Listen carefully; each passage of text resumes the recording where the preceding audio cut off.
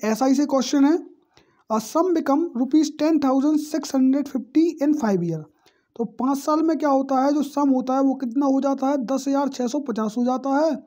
And rupees eleven thousand seventy six in six year और छः साल बाद क्या हो जाता है? वही सम ग्यारह हज़ार छिहत्तर हो जाता है। At a simple interest what is a sum आपको सम बताना है, क्या होगा?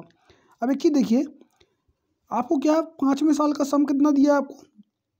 दस हज़ार छः सौ पचास दिया हुआ है। और छठवें साल का क्या दिया है आपको? ग्यारह हज़ार छिहत्तर दिया हुआ है। ठीक है तो सबसे पहले क्या करिए, इसको माइनस करिए तो कितना होगा आपका? दस हज़ार छः सौ पचास। इसको पहले सॉल्व करिए तो क्या होगा, कितना आएगा डिफरेंस डिफरेंस आएगा सिक्स और टू और कितना आएगा आपका? फोर ठीक है? और ये क्या आएगा आपका? यहाँ पे? हाँ। तो कितना आ गया आपका?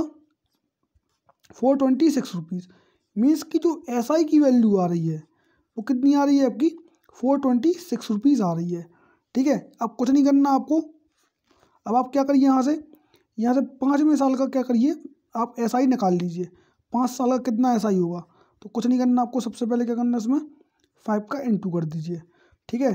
तो फाइव फाइव सिक्स का कितना होता है? थर्टी, थ्री कैरी और फाइव टू जो टेन और प्लस थ्री तो कितना हो गया आपका? थर्टीन, वन कैरी और फाइव फोर जो ट्वेंटी और प्लस वन तो कितना आ गया? ट्वेंटी वन आ गया। देखिए, ये क्या आ गया आपका? पाँच साल का क्या आ गया? टोटल ऐसा ही आ गया। ठीक है? और यहाँ पे क्या था? यहाँ पे क्या था? जो सम था मतलब कि वो क्या था? जो सम हो रहा था, वो कितना हो रहा था आपका? दस हज़ार छः सौ पचास हो रहा था। तो बस कुछ नहीं करिए आप। आपका जो जी आया है, इसको क्या करिए आप? इसमें क्या करिए आप सिंपली इसको माइनस करिए। किससे?